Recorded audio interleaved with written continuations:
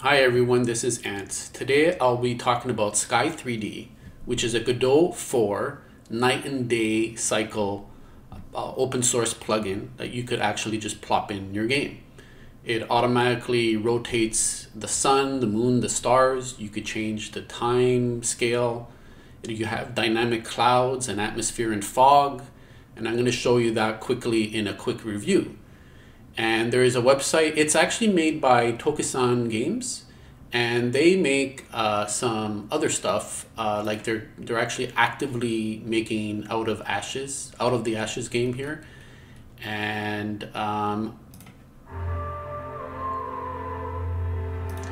And the reason why I'm plugging this is because they've actually created multiple plugins like Terrain 3D uh, and Sky 3D.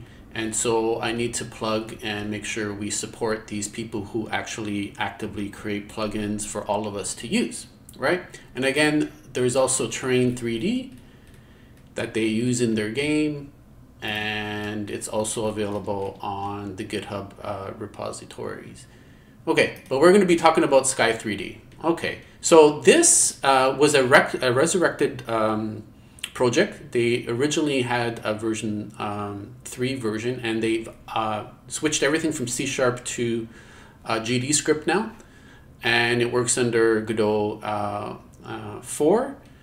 And it, it's only supported in the forward and mobile renderers and uh, it automatically rotates the sun, moon, and stars, and does dynamic clouds and uh, fog and all that kind of stuff. So here's some screenshots. I'll have a link in the description of everything. So let's actually see the demo.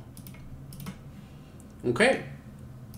So I have it uh, running now uh, in debug mode, and I connected to the remote so I could show you that you could actually uh, disable things on the fly. So I'm getting rid of the fog because at nighttime, you don't, uh, sorry, the, the clouds. I want to get rid of the clouds because now you could see the Milky Way, right? As you can see the Milky Way. And I've changed the speed of everything, right? So I'm going to change it to 30. And now, let's go to 15 to make it, so you can notice the effect. Now it's slowed down right? So depending on uh, the minutes per day and all that kind of stuff, you could actually speed things up. I'm speeding things up because I want to show you the transition between night and day. And this is the reason why I'm speeding it up. So I've sped it up and now we're going to have sunrise without the clouds. Right? And now that we're putting the clouds back in. And I changed some things so you could rot rotate around. Let's put the FPS there, right? And we're going to talk about the FPS in a second. And as you can see, it's doing the full cycle of day and night. And let's go back to the nighttime because it's actually quite nice. And let's get rid of the clouds because I like the, there you go. And there's the moon too and the moon phases look like it's changing and the actual location of the moon is changing throughout the days and stuff like that so it's kind of like the full cycle right so um, yeah let's see if we could see where the, the moon is sometimes it comes out during the day the moon here's sunrise again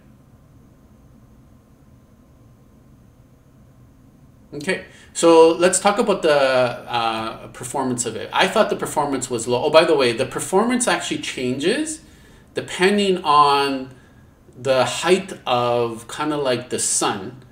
And I noticed that at uh, sunset, the FPS tanks, uh, uh, like, look at the FPS now, it's gonna, oh, here, the moon was right there. Look, as you can see, it went down to 194 and then it comes back back up. So there's something at um, when the sun is low in the horizon, screen space um, stuff is probably really uh, cramping things down, right? So yeah, uh, and by the way, I didn't have clouds, and the FPS would be worse with the clouds and stuff, right? But so let's just uh, stabilize here, 300 FPS. And now let's go to the proximity thing here and get rid of this. And this is, is just the Sky plugin doing its thing. Okay? 300 FPS.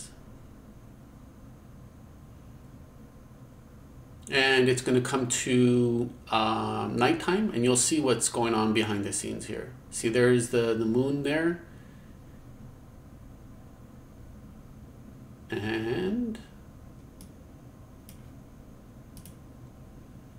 that's it. So this is really what it's doing. It's doing that final kind of like, they call it the sky dome. It's a dome, so it's a sky dome, and they actually project all these kind of textures in there. So they have the Milky Way texture, uh, the moon textures, that sort of thing. So it's all there.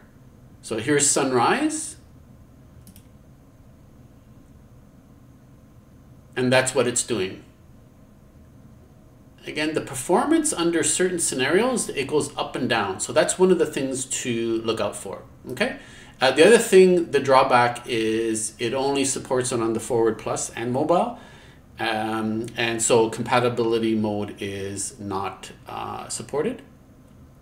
Okay, they have a demo. One of the things they should have did is they should have combined Terrain 3D and a Sky 3D demo together, and it would have been a really good demo. But I'm pretty sure the performance wouldn't be that great.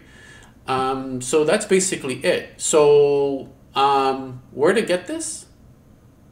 Well, I'll show you.